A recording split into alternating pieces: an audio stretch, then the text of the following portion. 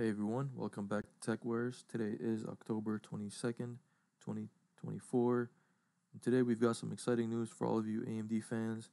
AMD has just released the Ryzen chipset driver 6.10.17.152 and it, and it is bringing some great features, some new uh, great features and improvements. So let's dive into the details, all right? So that's right. The Ryzen chipset driver, a new Ryzen chipset driver introduces support for the X870E and X870 chipsets, expanding uh, compatibility and performance for AMD's Ryzen processors. This update includes several bug fixes and new program support, making it a must have for AMD users. So if you're on a motherboard that uses the X870E and X8 70 chipsets. This update is for you. You have to update, all right?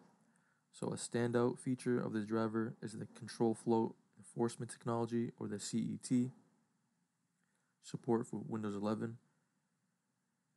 This security feature helps protect against malware attacks by enforcing CET in a compatible mode for legacy software. It's a fantastic addition for those looking to boost system security. Okay? Now, as far as the bug fixes go, the driver also addresses several known issues, such as driver, uh, such as driver names appearing English in English or non-English operating systems, and uninstall summaries incorrectly showing a failed status. AMD has also fixed bugs related to Ryzen PPKG installation and upgrades.